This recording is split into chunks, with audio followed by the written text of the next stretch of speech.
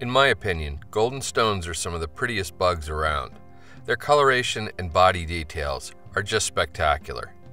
That said, I've found over the years the patterns I tie to imitate them are getting simpler and simpler, and this Euro golden stone is where I'm at right now.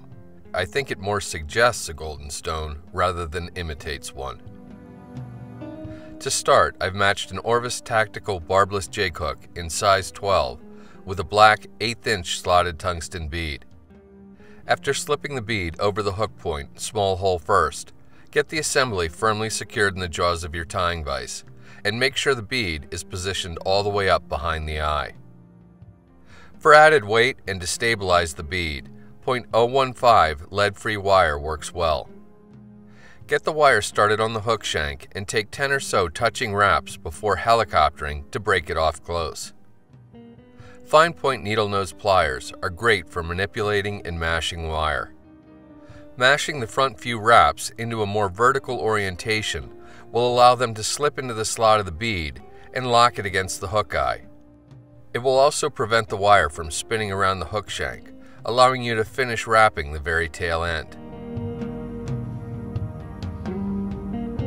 For thread, I'm going to use UTC 70 denier in a color called Wood Duck, but yellow or light brown look good too. Get your thread started on the hook shank immediately behind the wire and take a few thread wraps rearward before snipping or breaking off the tag. You can then wrap over top of the wire to further stabilize it and create a small thread ramp down to the hook shank. To rib the fly, I'm going to go with Brassie sized gold ultra wire. 5 to 6 inches is enough to make numerous flies.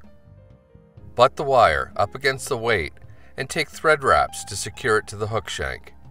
As you wrap rearward, allow the wire to drop down along the far side of the hook shank. Then, take thread wraps forward back up to the weight. Barred pumpkin Sili legs are used for the tails, to save on material, you can cut one of the strands in half, and even that is more than enough to make two tails on a single fly. Lay the segment's midpoint at the location of your tying thread and take a couple of wraps to secure it. Then, pull the front half back and secure both strands to the top of the hook shank all the way to the bend. Snip the Sili leg material off to leave tails about a full hook in length. Golden yellow pheasant tail fibers are used to form the body of the fly. Pull down 10 or 12 so they're perpendicular to the stem and then strip them free. Cut the little curlies off if you like so they don't catch on things while you wrap. Reorient the fibers so you're holding their tips with the fingers of your left hand.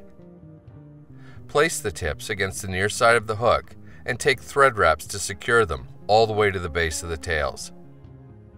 Leave your tying thread in that location and start making touching wraps with the pheasant tail fibers, forward but behind the tying thread. Pressure from the thread will keep the fibers together and help to create a nice, evenly tapered body. When you reach the bead, secure the butt ends of the fibers with wraps of tying thread. Once they're secured, you can reach in with your tying scissors and snip the excess off close. Next, get hold of the gold wire and start making open spiral wraps over top of the pheasant tail to segment the body. Feel free to make counter wraps if you prefer. When you reach the bead, secure the wire with a few tight turns of tying thread, then helicopter the wire to break it off close.